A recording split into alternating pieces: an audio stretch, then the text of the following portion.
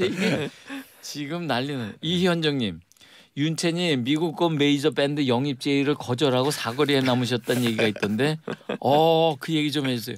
오 아, 그게 되게 소문이 빠르네. 네 갑자기 이슈가 됐네요.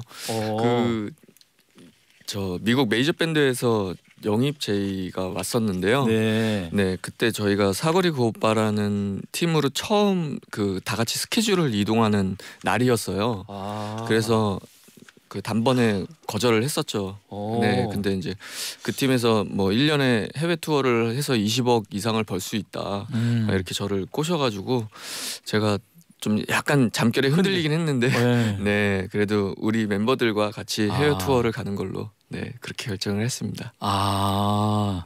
음. 아, 곧 영입 아 영입 제의가 아니라 사거리 오빠 그 오빠가 곧 해외 진출을 할 것 같습니다. 아, 네, 감사해요. 감사합니다. 파이팅 하겠습니다. 아이고. 뭐 해- 일단은 뭐 요, 요즘에는 뭐 일본이나 중국이나 중국도 이제 큰 시장이니까. 네. 네. 아 현우 씨 그러면 뭐 어디 공연 어디 상해부터 시작하실래나? 아뭐 뭐 잡히는 대로 해야죠. 잡히는. 지금 이 사거리 그 오빠의 팀 내에서 지금 제일 수건 사업이 뭐예요? 제일 먼저 하고 싶다 이러는 건 이제 앨범은 나왔고 네. 이제 그 다음 작업은 뭐 해- 해보고 싶어요?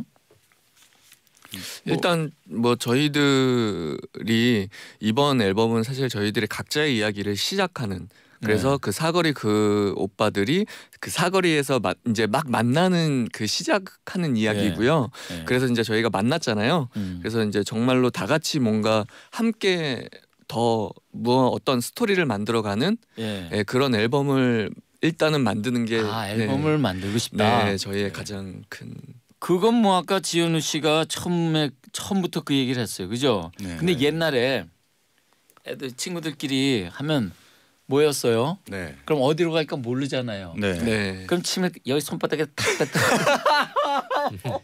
탁 때리면 많이 튀는 쪽으로 가잖아요. 네. 네, 네, 네.